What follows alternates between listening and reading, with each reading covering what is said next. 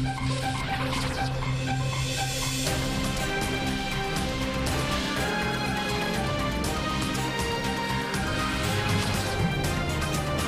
Iz Ljubljanskega studia 136 to so vesti na vesti.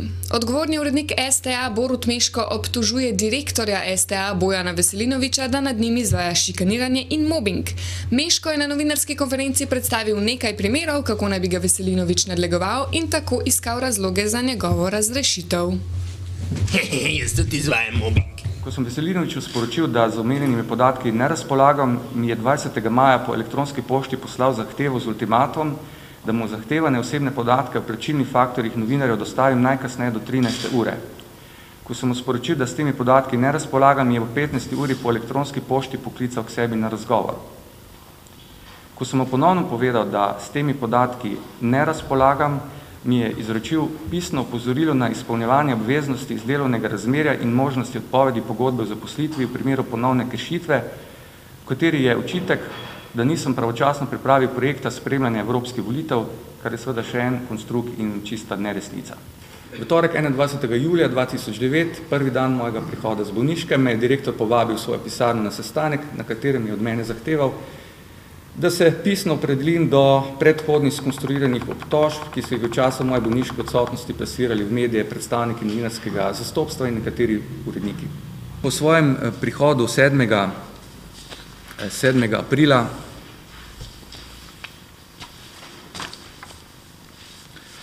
mi je direktor po elektronski pošti poslal zahtevo, da mu z naslednjim dnem pričnem pošiljati dnevna poročila, za katere želi, da jih ima dostavljena do 9. ure zjutraj, od ponedeljka do petka, za vikend pa ob ponedeljkih.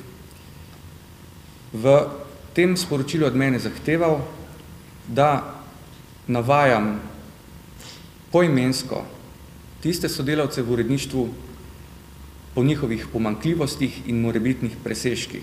Ker bi seveda zavrnitev take zahteve s strani nalogodajalca, ki je moj nadrejeni, pomenila lahko, da kršim svojo delovno pogodbo, ker ne izpolnjujem njegovih zahtev, sem mu pošiljal dnevna poročila, ki so bila napisana v slogu. Delo v uredništvu je prejšnji dan potekalo v skladu z načrtom. Lep pozdrav, Borut Meško. Kje je zdaj ta mobbing? Sam neki blebečejo, kakšen mobbing je to? Mobbing, stari, mobbing. Ma kaj, se dejte. Veselinovič pa je že seveda ne začel postopek za razrešitev Meška s funkcije odgovornega urednika STA. Takole pa je pojasnil svojo odločitev. Nove navedbe o kakršnihkoli pritiskih in mobbingu so debela laž. Dejstvo je, da do petega oktobra na podlagi najinega skupnega dogovora ni v pisni obliki pripravil in mi izročil programa prilagajanja STA razmeram na medijskem trgu. A vidiš, da so potiski pa mobbing? Jan, pritiski pa mobbing. Čisto druga zadeva. Miha Jazbinšek, svetnik zelenih v ljubljanskem mestnem svetu, je ponovno kritiziral Jankovićeve gradbene podvige. Tokrat ga motijo postopki v zvezi z gradnjo Bežigrajskega športnega parka. Jazbinšek trdi, da je obnova Plečnikovega stadiona ogrožena predvsem zaradi prevelike pogoltnosti občine in predlagala izstop občine iz projekta. Janković mu je odgovoril v svojem slogu. Takole, glej, ziher je bilo tako. A resno ali za hec? Ma jaz tudi obrnem na hec, kaj hočete, resen odgovor. Vaš komentar. Ja, kot Jazbinškov predlog, ne. V treh letih, kar sedimo skupaj, jaz še enkrat nisem slišal, da je Jazbinšek s čim soglašal. Njegove utemeljitve, da OKS dobi od petdeset procentov stadiona trinajst procentov, ne, te matematike jaz ne poznam, ne, to je samo njegova matematika. Kaj skupaj sedita? A skupaj sta sedela? A v zaporu? Ne, samo pri matematiki. Ljubljančani pa so z Jankovićevim početjem precej bolj zadovoljni kot Jazbinšek. Vsaj če sodimo po anketi, ki smo jo opravili med naključnimi, nič hudega slutečimi mimoidočimi. Imi. Jaz mislim, da je to odlično, da se je, da se je človek spravil vse hkrati delati, da ne bo več razkopan pa tako zanemarjen, kakor je bilo prej.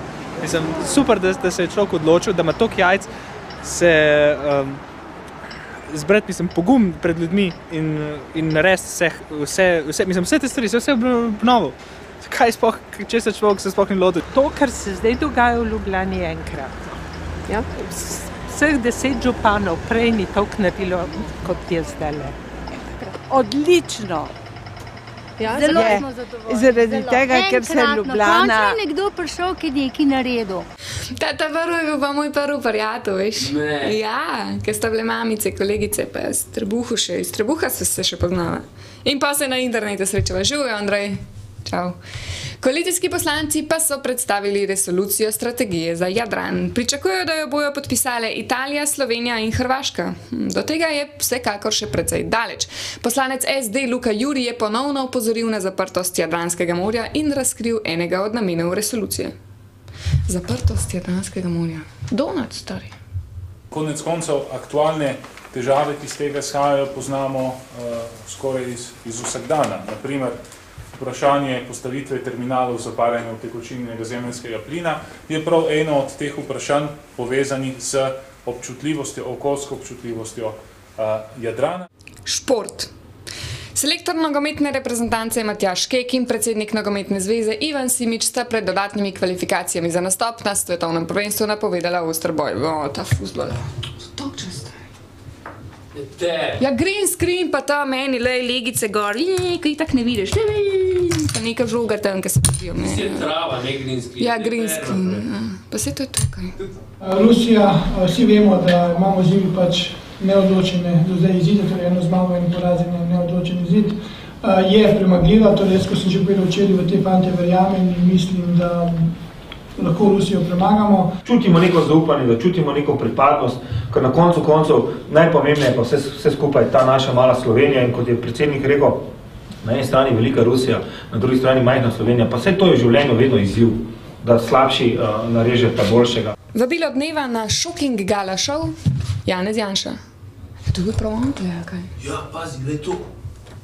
Shocking Gala Show je dogodek, uh, ki ga pripravlja Zavod Maska skupaj z uh, številnimi soorganizatorji, muzej in galerije mesta Ljubljana, Slovenski gledališki muzej, Akademija za gledališče, Cankarjev dom, RTV Slovenija uh, in še nekatere druge, s katerim nameravamo obeležiti 40. obletnico pojava skupine Pupilja Ferkeverk. Pupilja Ferkeverk je znamenita neoavangardna skupina, v kateri so nastopali eh, gledališčniki, glasbeniki, eh, vizualni umetniki eh, in eh, neprofesionalci. Eh, njihova eh, gesta eh, v polju gledališča je bila radikalna in zasnovana je bila predvsem na eh, odklonitvi kakršne koli avtoritete. Slovenija, Slovenija, Slovenija. Kultura. V kinu Šiška so odprli razstavo Video in Progress 3 polja performativnega. Izmed vseh del, ki so prispela na natečaj, je bilo izbranih 46 videov 43 umetnikov in umetniških skupin. Do 15.11. bo vsak torek prikazan eden izmed štirih sklopov, v katere so videi razvrščeni. Selektorice iz skupine kolektiva pa so v razstavi povedale tole. Tema um, razstave je performance za video. In v bistvu nas je zanimalo pač različni pristopi umetnikov do performansa, se pravi performansa, ki je narejen za kamero. Uh, izkazalo se je, da so pač ti pristopi izredno različni, od uh, povsem uh, klasičnega performansa v galeriji pred publiko do pač nekih osebnih raziskovanj um, v samoti pred kamero, do recimo uh, skrajnega prevera uh, umetnika uh, Mihala Bržinskega, ki se povsem odpove kontroli nad kamero, se pravi ustvari video s svojim telesom, z gibanjem v naravi. Še vreme, pa da imamo danes šlogat za spremembo, tako le ne. No, žal vremena ne bo, ker je šalca prazna. Ta šalca je vedno prazna, gledalci, da ne boste mislili, da vam je sklej kavo, da mi kdo kavo prinese, pač ne, ni kave, šalca je. Iz Ljubljanskega studija 136, to so bile vesti na vesti, pa lep dan še naprej.